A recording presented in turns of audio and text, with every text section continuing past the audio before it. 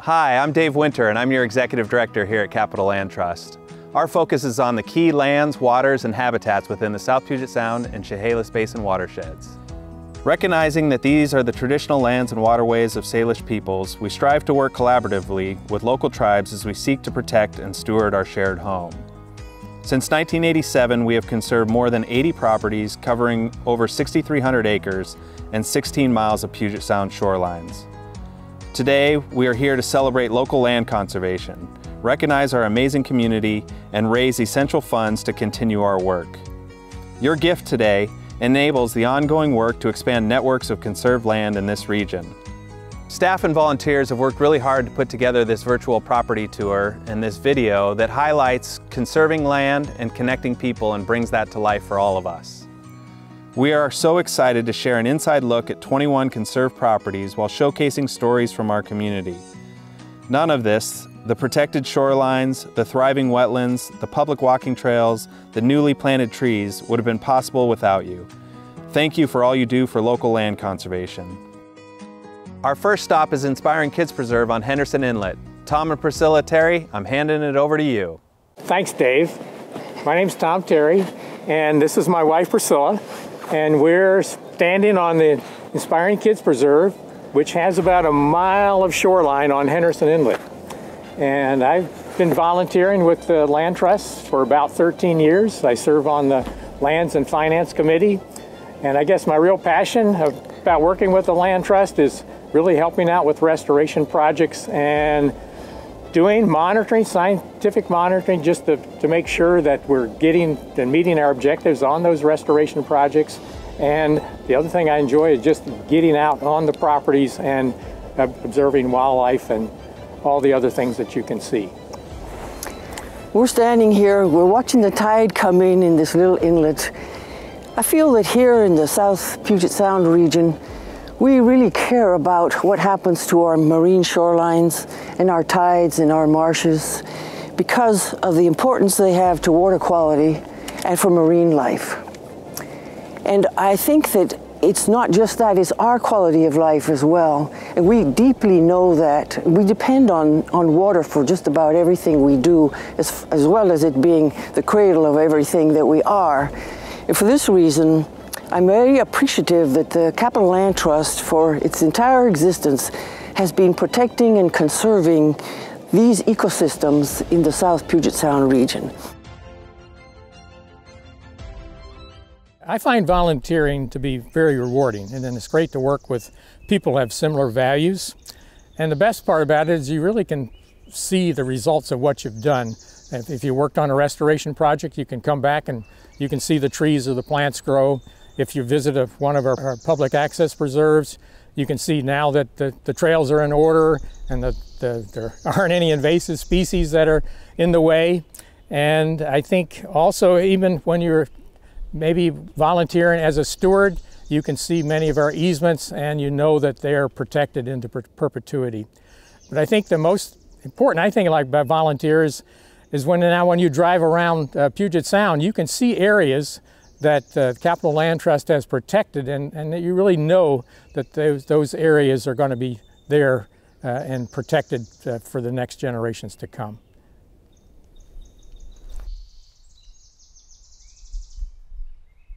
Hello, I'm Ralph Monroe and welcome to Triple Creek Farm. This was an industrial bay and frankly it was a mess.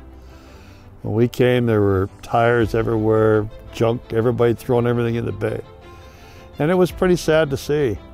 And it's been a real cooperative effort. And I have nothing but good things to say about the oyster companies who've worked so hard to keep the bay clean, about the Land Trust who's come here and Capitol Land Trust has helped us to preserve some properties, about people around the bay who helped us do the cleanup, the school kids, everybody's been involved. And it's clean today, it's much cleaner than it was, and it's working its way towards perfection. Here in the South Sound, we're surrounded by intersecting waterways. The lakes, rivers, and the changing tides of the Sound are constant reminders of why we love living here. I feel that most of us are interested in preserving our marine shorelines, estuaries, marshes, and tidal basins because of their importance to water quality and marine life. we understand deeply also that our quality of life depends on it. When you get out on a preserve, it's important to be quiet and to listen and to watch. And watch for the little things because you never know when you're going to run up against one.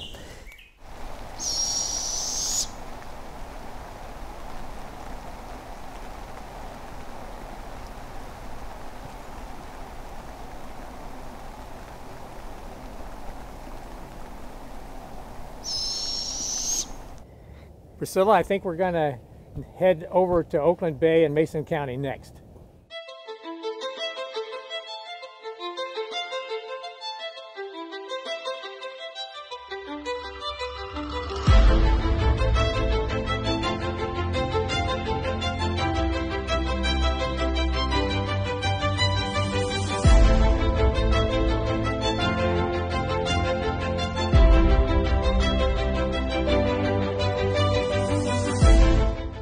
I'm Jeff Dickerson with the Squaxin Island Tribe. I'm the Assistant Director of Natural Resources.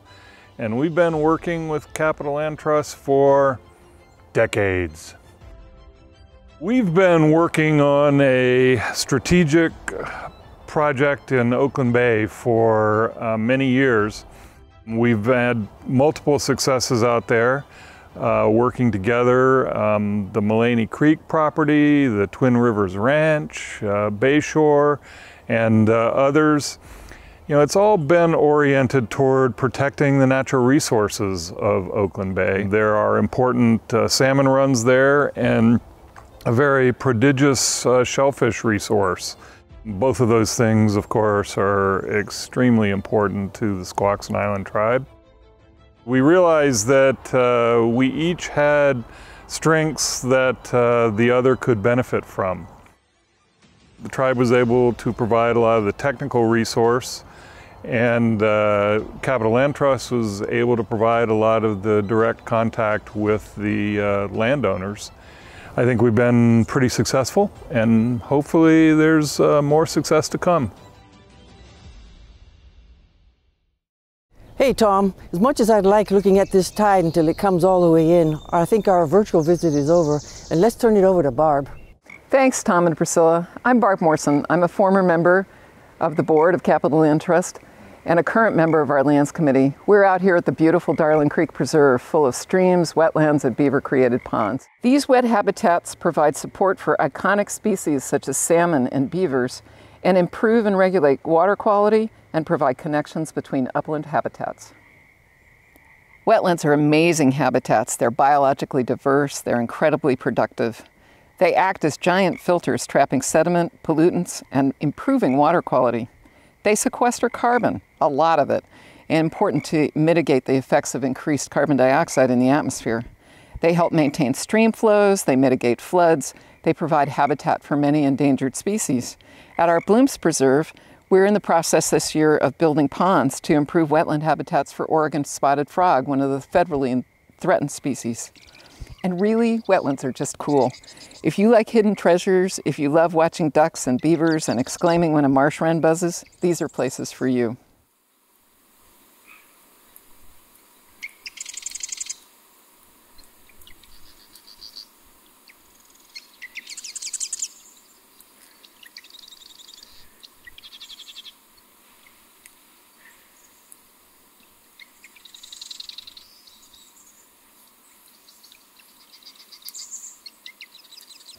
So I'm a wildlife biologist by training, but I spent most of my career doing cleaning up hazardous waste sites.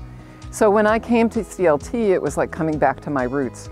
I've always had a strong connection with the land, whether it's the Maine islands that I spent my summers on as a kid, or the Colorado Rockies where I got to live for several years, or here in the Pacific Northwest, this beautiful spot where I've lived for most of my adult life. When I see people out in nature, enjoying, or at the beach, enjoying being outdoors, especially in stressful times like this, it's really easy to be part of this mission and to be and, and understand and be reminded about how important it is for people to be able to be out in nature. I have the privilege of having time in retirement to choose what activities I want to engage in. I've been involved with the Land Trust in one way or another for 10 or 15 years, really. I love how much of CLT's work involves working with partners, how many people I get to meet from all walks of life. But really, I love the concept of conserving land in perpetuity, not with the thought of locking it away forever, but with the thought that wildlands will be there forever, providing habitat and movement corridors for wildlife and provide havens for humans to refuel and refresh. I really have a passion for the public access portion of our mission, making it possible for people in our community to access and experience these precious places. Public entities at the state and federal level can't do it all. Counties and municipalities are typically focused on developing parks. What the local land conservation community does that's so important is to focus in on the local landscapes and habitats, parcel by parcel, owner by owner, to identify and protect land with high conservation values. Local land conservation is only as successful as the relationship between the land trust and the local community. People like you and me are the people that ensure that these landscapes are knit together for the next generations. It's so important for each of us to support our communities in any way we can. Keeping as much of the natural world around us with a focus on not only our own well-being, but the well-being of our future generations is really worthy of your support.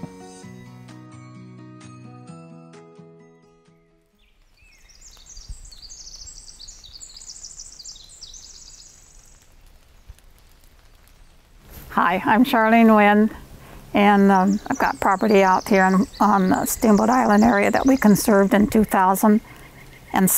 The biggest reason uh, why we decided to go with Capitol Land Trust is because we knew that in time, since we had 550 acres, that in the future someone was going to subdivide or develop. There's, it's just the nature of the beast. And um, so we wanted to make sure that that never happened. And we also wanted to make sure the timberland was um, properly managed and not, you know, overcut and over um, uh, used. One of the biggest enjoyments about living out here is the wildlife. And really, we have a huge diversity, not only of the birds but of the actual larger animals like the bear and the cougar and the bobcat, and definitely the coyotes. Finding wildlife on our preserves is one of the simple joys of doing this work.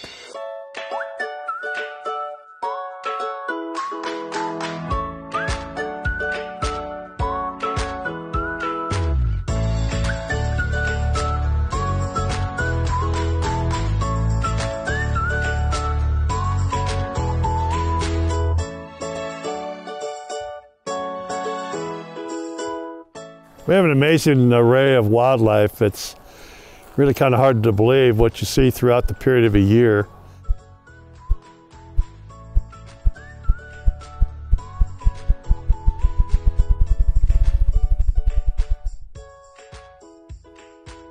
All the small animals, of course, the deer and the coyotes and um, those sort of things, and chipmunks and squirrels and everything you can imagine all kinds of birds, winter birds, summer birds, but it's, uh, it's, it's sure fun to watch.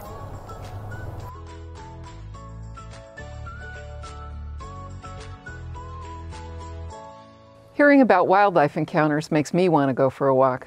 There's no better person to talk to us about the benefits of walk than Mary Burcham, our Outreach and Education Coordinator, who's at another one of our public access preserves. Thanks, Barb. My name is Mary. I'm the Outreach and Education Coordinator with Capitol Land Trust. Access to nature is something very near and dear to my heart, so I'm really excited to show you around today. The amazing scene you're seeing around me is Bayshore Preserve, which is located just a few miles north of Shelton on Highway 3. Bayshore Preserve is one of four preserves we own and manage as public access areas. We have two public access preserves near Olympia and two near Shelton. In addition to supporting wildlife corridors and protecting fragile shorelines, places like this can provide a moment of respite, an invitation to take a deep breath and simply marvel at the beauty of nature. We maintain about five and a half miles of trails, interpretive signs, benches, and wildlife viewing areas for our community to enjoy free of charge. Our walking trails take you through so many different landscapes. Landscapes that inspire reflection, learning, friendship, exercise, and so much more. I love walking down a trail to the tune of birdsong or splashing salmon. The natural world has so many gifts to offer, and they keep me inspired about the work we do. Beyond clean air, water, and wildlife habitat, our conserved lands are fulfilling an important need in our community. At Capitol Land Trust, we believe public access preserves are important because everyone should have access to local landscapes and opportunities to build special memories outside. There is so much we can do to give back to the gifts the natural world offers to us, and we can do it as a community. Gathering together outdoors to plant trees, pull invasive species, improve trails, and monitor conserved lands brings us together and cements our community bond. I'm Marissa, and um, I am a, a mom, and myself and several other parents have um, organized a pod for our um, for our, our sons. There's eight boys in this pod. And on Mondays, we do volunteer uh, community service. I think that getting out into nature, uh, doing the hiking and the fishing and uh, the volunteer uh, projects that we've been doing outside have really helped them um, to develop a, a, closer relationship with each other. And um, and of course with the natural world. And it's important to really instill in them at a, at a young age that if we want to keep our the state beautiful and our forests healthy, our ecosystems healthy, then we need to get out there and we need to do our part and recognize this is our land and we are the caretakers of this land. I'm really glad to be out here with the Capitol Land Trust and have this opportunity. And I hope that we'll continue to do um, to do more of this. Stewardship is really important to me because I feel like what I am doing today is bringing back the past and allowing the future to be here. We are, or I should say, we are making a difference. And that's why I'm involved with this. It's like I feel like I'm really doing something productive for everybody, including myself.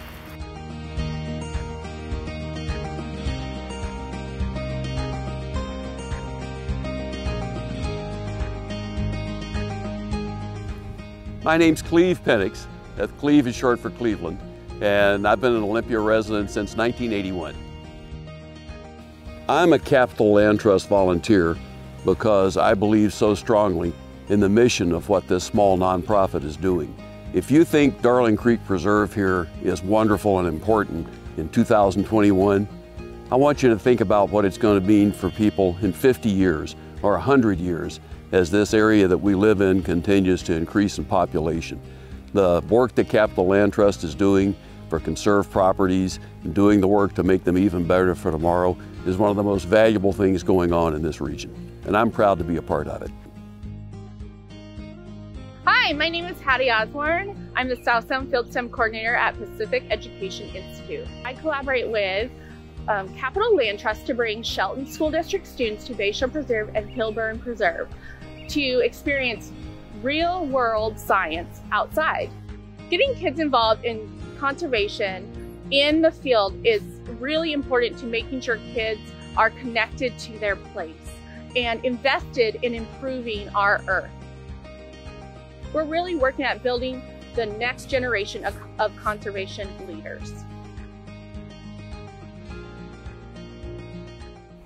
With your support, Capitol Land Trust is taking a comprehensive approach to conservation that recognizes the full picture. We envision a future for our region in which nature and community thrive because Capitol Land Trust and our partners have invested in conservation of and education about our very special natural places. Through our conservation work and against the backdrop of climate change, we help ensure that our quickly growing region is a place with clean water to drink and clean air to breathe, healthy populations of native fish and wildlife, and natural open spaces that help define our communities. Thank you so much for sharing your stories and thank you to all of you for tuning in today for a virtual tour of these beautiful landscapes that we call home. I hope you are as proud to be as part of the Capitol Land Trust community as I am. Together, we have accomplished so much, from championing local land conservation to providing our community with places to enjoy nature. Wishing you a strong sense of connection and inspiration from this place we all love.